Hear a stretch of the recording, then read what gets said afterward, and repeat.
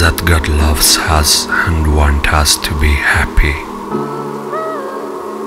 But this is the double spear, and we will be